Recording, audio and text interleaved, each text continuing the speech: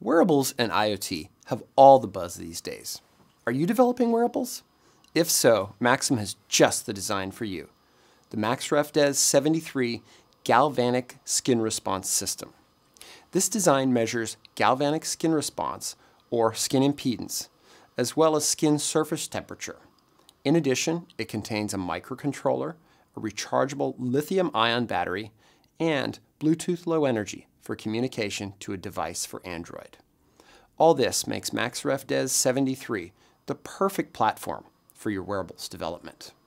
At the heart of MaxRef DES 73 is the Max 32600, our highly integrated microcontroller with an ARM Cortex M3 core, a 16-bit ADC, two 12-bit and two 8-bit DACs, multiple op amps, multiple low power modes, and embedded security.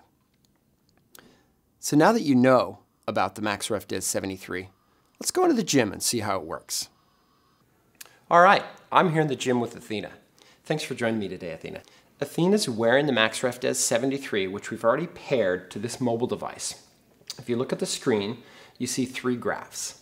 The top graph is skin surface temperature. The middle graph is her galvanic skin response at an excitation frequency of 7.8 kilohertz.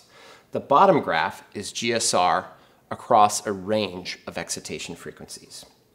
So Athena, what types of exercise do you like to do?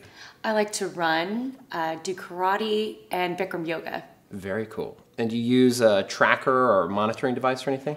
Yeah, I have a wearable that uh, tracks my steps and my heart rate. Okay, and so how does that work for something like Bikram yoga?